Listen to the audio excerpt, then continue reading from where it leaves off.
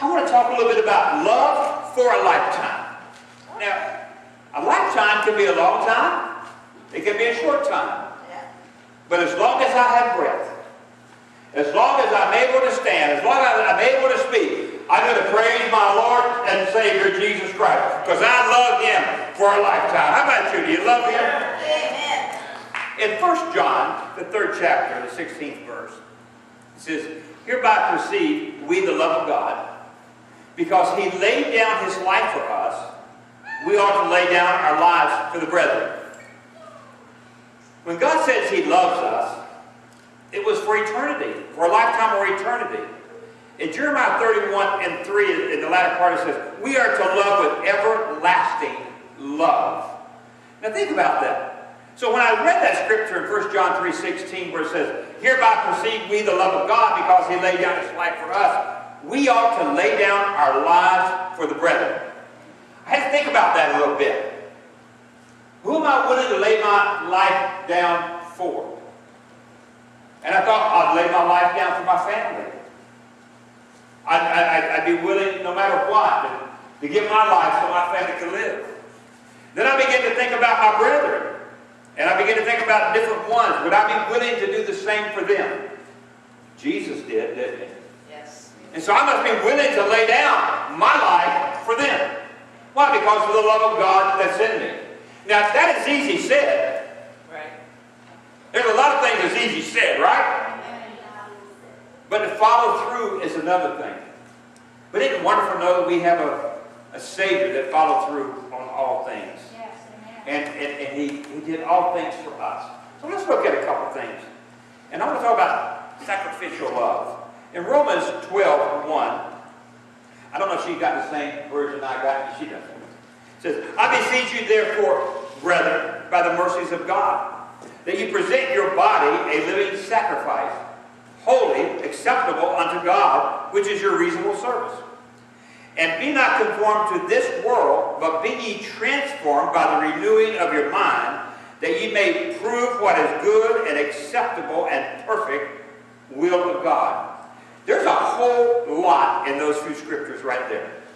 A whole lot of it. And be not conformed to this world, but be ye transformed by the renewing of your mind. When I was a, a young man, as I said earlier, in, in school, and a pretty girl come by, I was in love all the time. And, and you guys know what I'm talking about, and you girls probably did too. I'm sure that when they see a, a, somebody, a guy look good, I don't know, but they, they, they look, they, I'm in love too. You know how that goes. Uh, how many of you remember getting the little cards? I love you. Do you love me? How many there wrote one of those little ones? Come on, be truthful. Am I the only one? I see it. Yeah, I like it. Honest people. Honest people make it to heaven. Amen. So, but but how many? I know you did. Yeah. And and that's that's not the kind. you know, but but by, that's not the, total love I'm talking about. I'm trying to forget the point I was just fixing to make. And be not conformed to this world, but be transformed by the renewing of your mind. So I had to renew my mind from that and truly understand what love is. Now, when Sheila and I got married, I thought, man, I couldn't love her any more than I loved her at that moment. But I found out the longer we've been together, I love her more every day. I love her so much more today than what I did when we first got married. Yeah, you like that? I it too. It sounds good to me. I got a feeling I'm going to get a good meal coming up here shortly. Maybe even some paydays. I ain't sure yet. She took my payday and put it in the refrigerator so I wouldn't be looking at it. So I don't know what she's telling me. I don't know if I can eat it or I can't. Because I like it in the refrigerator a little harder, but she, I think she's telling me don't eat it without giving her half. But I always share everything I got. But but but anyway, the transforming of my mind means I have to change my thought process. That means I've got to look at things differently than what I, I, I used to look at. And so when I began to think about God when I was younger, I, I knew there was a God. And I heard about this God. I heard about Jesus. I knew all about Jesus dying on the cross and I might have life. I understood all that, but I didn't know him. Right. So as a kid, I understood about him. Matter of fact, there'd be times I go to bed at night and I'm saying, Lord, if I don't let me die tonight because I know I'm not right. I don't know if any of you ever done that, but I did that a lot. And, but when I got to know him, and when I got to have a relationship with him, my whole thought process began to change. And I remember that night that Jesus came in my life, and I thought I could never love him any more than I love him right then. But I want to tell you something. I love him so much more today than what I did way back then. Amen. Why? Because he's part of my life. He is the most important person in my life. And, and I'm going to call that kind of like an a, agape love, an unconditional love. And, and when I think about that, that unconditional love, he loved me unconditionally. And if I have a need and I ask for that need to be taken care of, God's going to take care of the need that I need taken care of. Maybe not the way I want it, but the way He knows is best for me. And why would He do it that way? Why would He let me go ahead and have it the way I want it? Because He loves me enough, He's not going to give me something that would be hurtful to me. He's going to give me something that would be good to me. Amen? Why? Because He loves us. I used to think my parents were so mean when I was growing up. How many ever thought your parents was mean? You know, I, I thought my parents were so dumb they couldn't understand nothing. And I become this little teen. Yeah, see, I'm John. Yeah, he's back there too. And I had become this teenager, and I became smart. Yeah. I did. I was so smart, I knew everything about everything and knew nothing about anything. But in my mind, I knew everything. And I would listen to them and I, uh, understand, understand, but I go ahead and want to do it my own way. And when I did it my way, I always ended up getting in trouble. And then when my parents found out I did it, then I got in more trouble. See, back then they could put a belt on your behind and it was all right. Today if they do that, they go to jail. Makes no sense to me. And my parents meant business. If I got in trouble at school, I got a paddle at school. I remember one Mr. Witt had a paddle that he had real holes in. Man, that was pure. Yeah, y'all. How many ever had it? Y'all. Yeah, I love it. Y'all know what I'm talking about. And they call that love. I call that rain. And when I got home, I felt the same love again. My parents was out of control. They didn't know what was going on.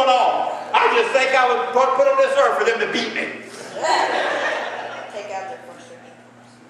I got a lot of spankings growing up. I have to tell you. But then as I began to grow, and when I became a father, and I remember holding Sarah in my hands, and she was so small. Actually, I could hold her in one hand. She was, she was a preemie. She was just so small. And, and I, just, I just, just take her anywhere with me. And I just looked at her and thought about how beautiful she was. And the love that I had for her was totally different than the love I had for my wife. It was a, a wonderful love that I had for her. And I thought about that love I had for her. I was willing to die for her, whatever it took. And as she began to grow up, and I became her play toy, Sheila became the belt.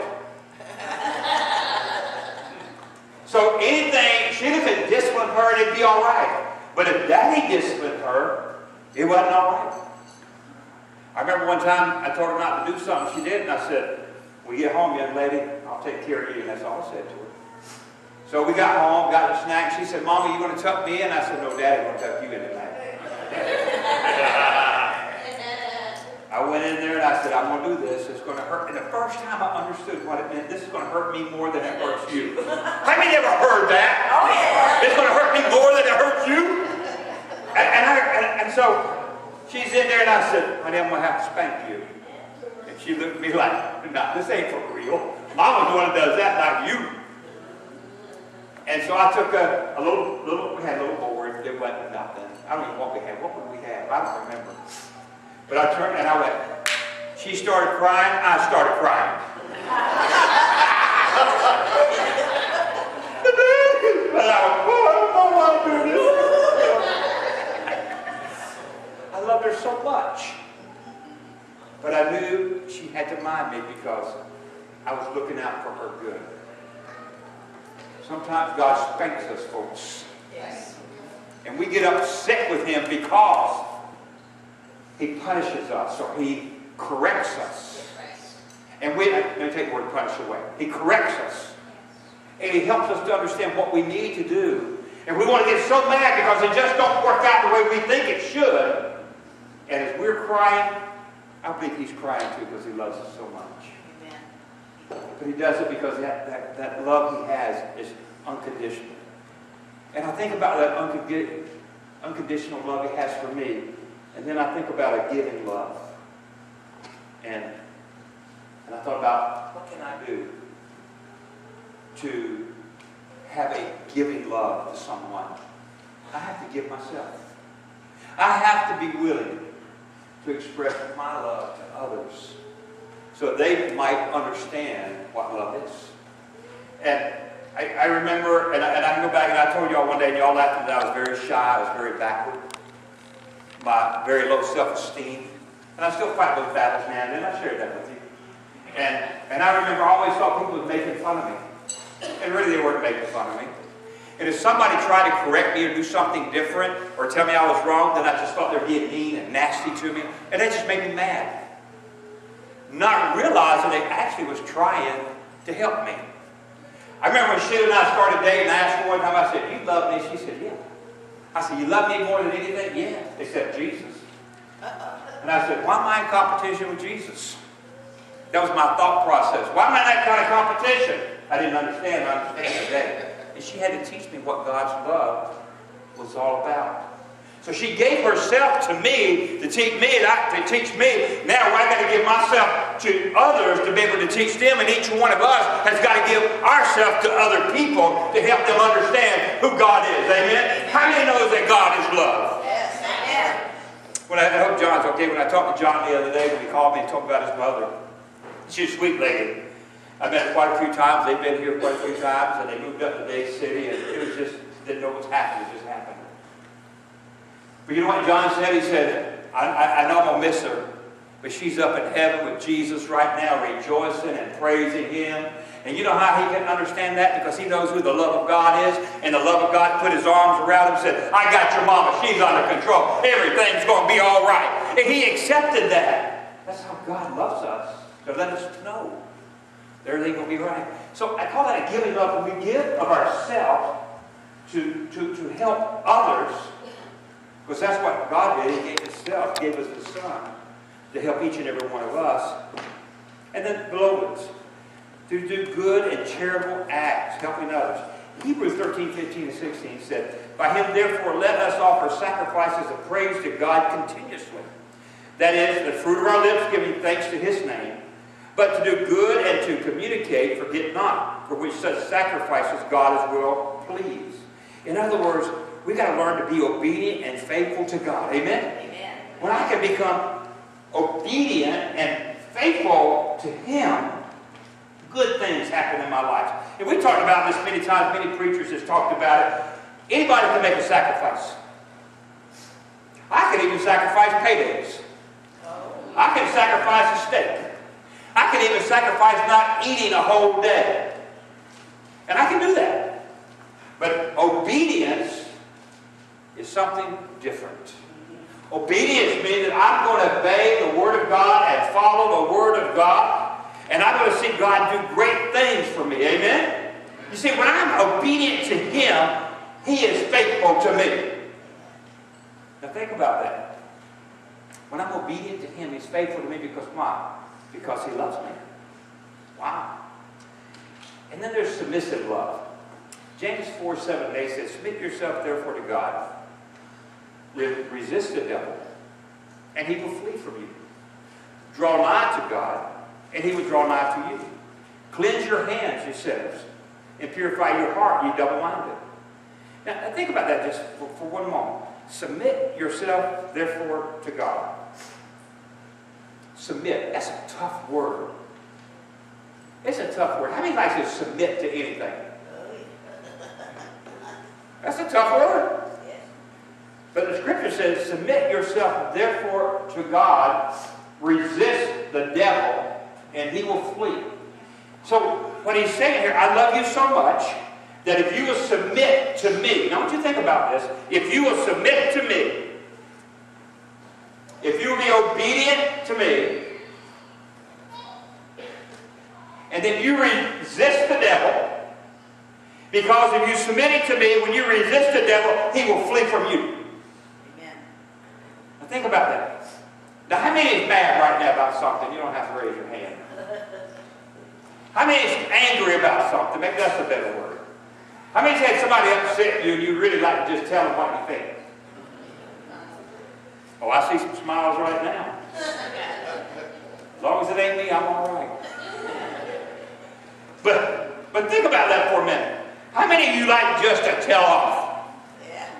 Wouldn't it make you feel good if you could just get it out?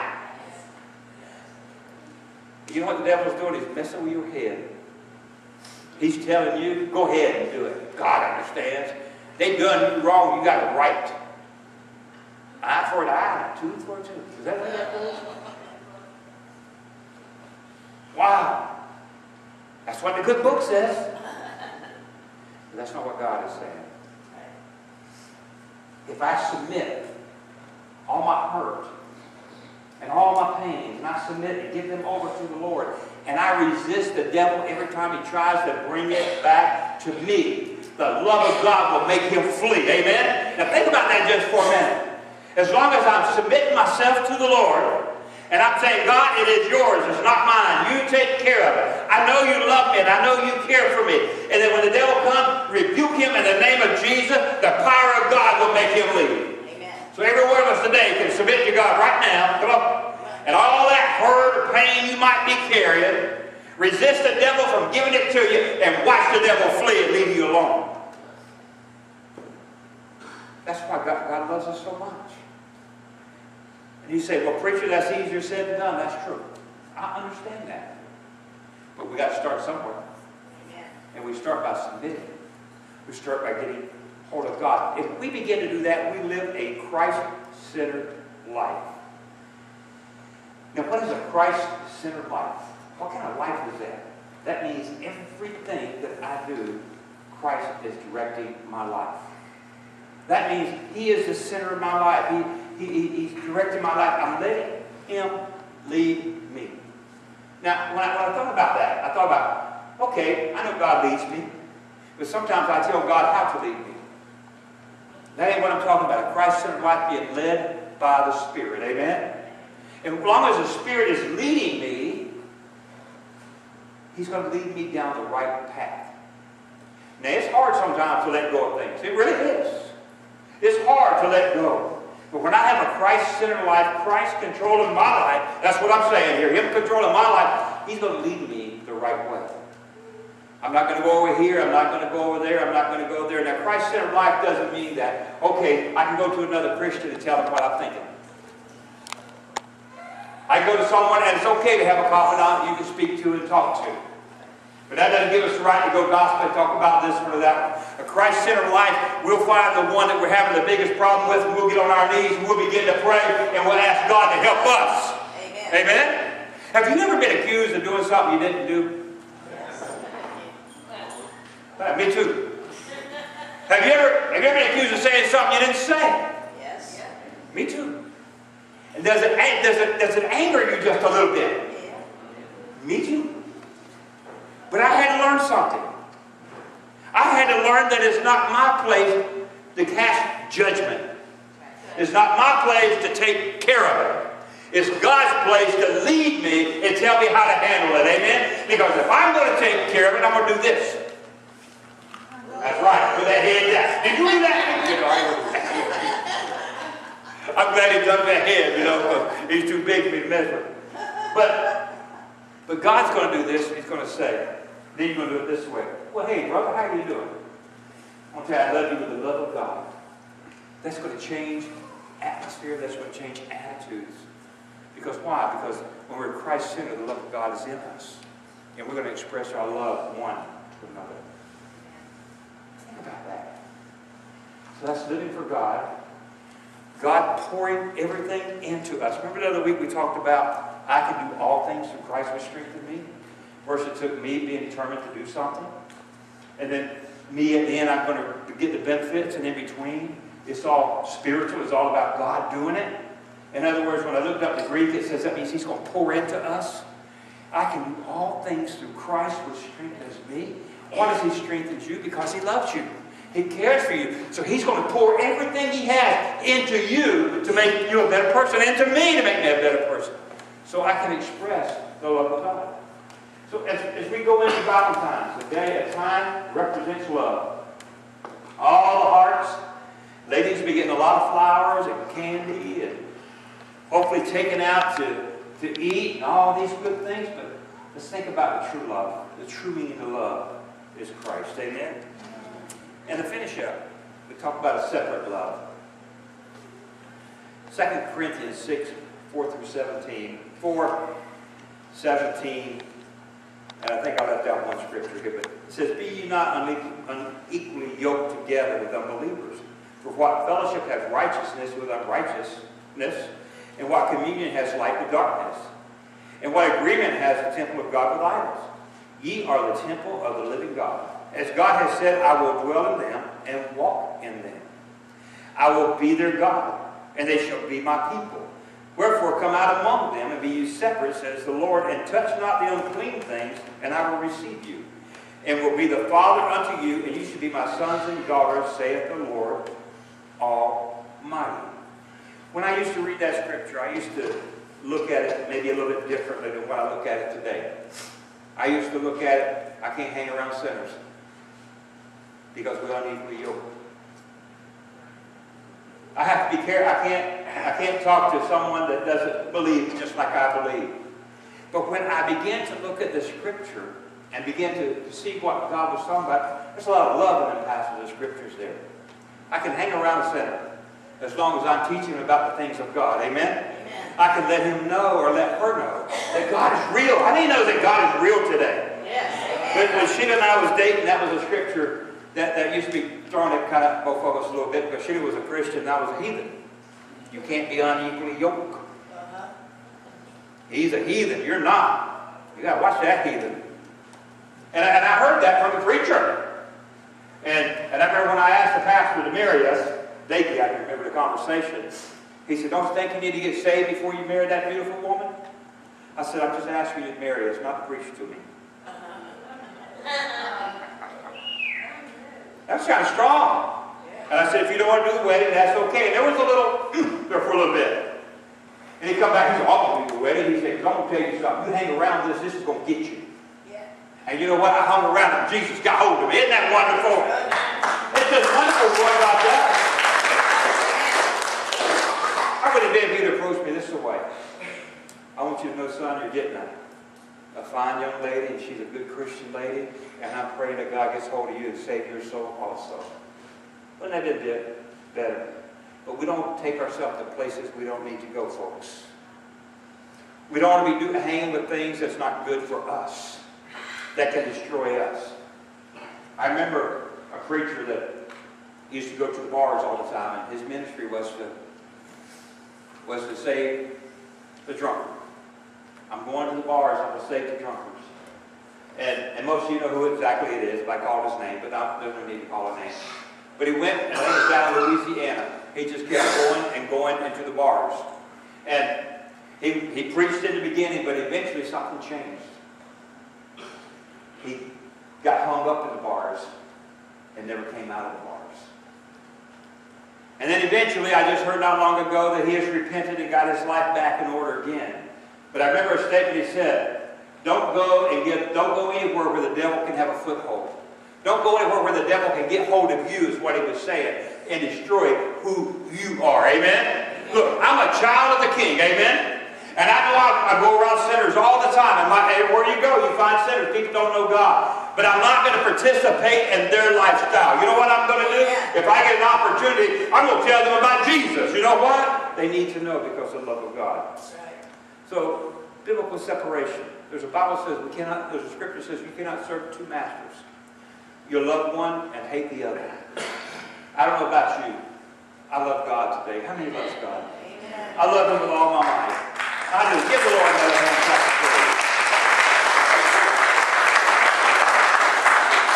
I'm going to love him for the rest of my life because he's the most important person in my life.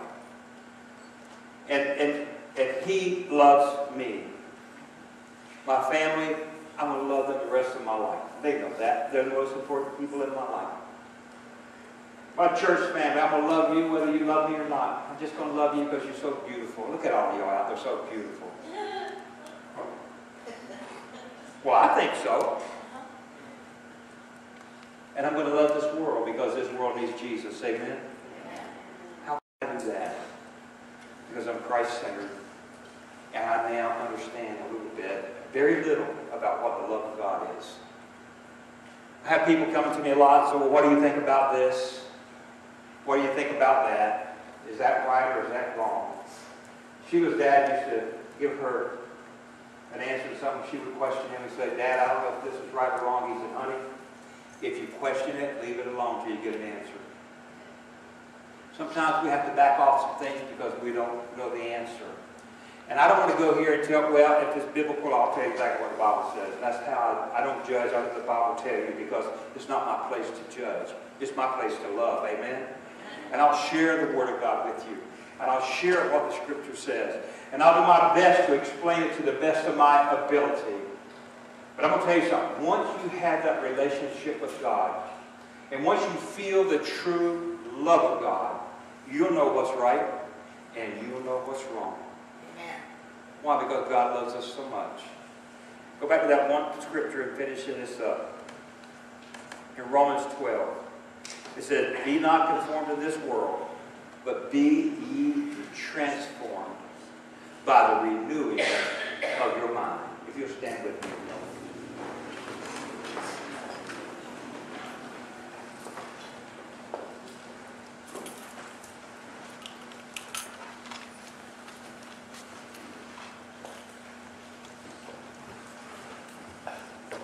And be not conformed to this world, but be ye transformed by the renewing of your mind, that you may prove what is good and acceptable and the perfect will of God. Go ahead and play song. By the renewing of your mind.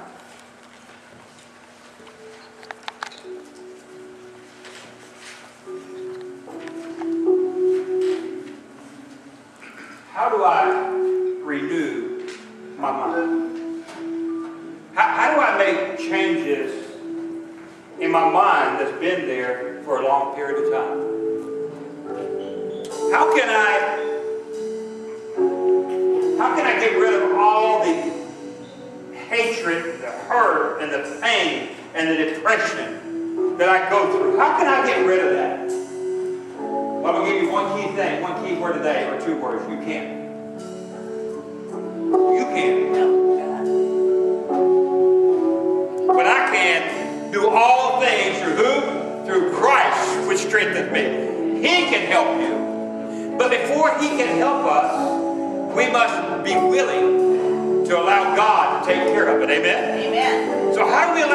Take care of something when we're, we're so confused about something? How do we how do we get to the next place because our mind is just going here and going there and going here and going there and you just can't seem to grab hold of it and get peace with it.